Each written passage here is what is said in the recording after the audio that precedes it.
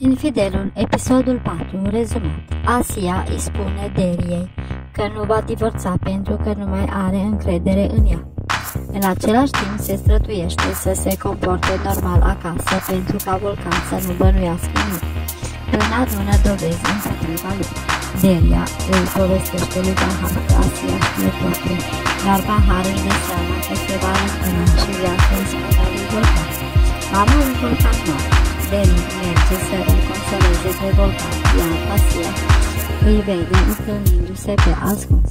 Nil se mută în clădirea unde Derin deține un atelier și unde se întâlnește cu Volcan. Îi spune că și ea este însărcinată și se împrietenește.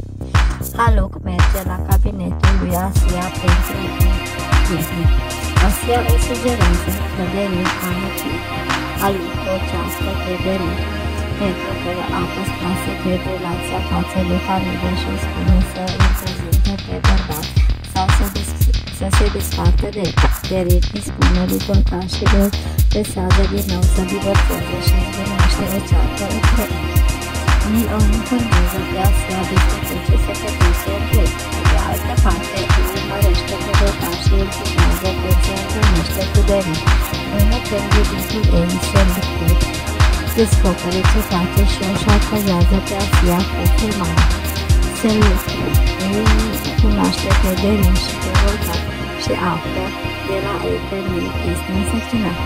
Nil se împacă cu el cu condiția să renunțe la șantaj. Mert îi spune Asiei că vrea să o ajute să re, se răzbune pe soțul ei și îi trimite flori la cabinet.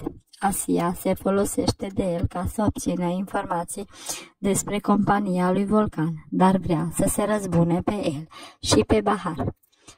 Faruk, un pacient care are obsesie pentru Asia, știe totul despre familia ei.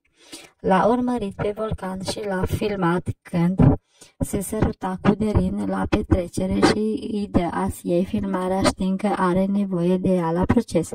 Bahar îi spune lui Derin că se gândește la posibilitatea ca Asia să știe totul și să se răzbune pe ea. După aceea, Derin și părinții ei se întâlnesc în fața unui mel cu Asia și familia ei. Asia propune să ia masă împreună punându-i într-o poziție dificilă pe Volcan și pe Derin.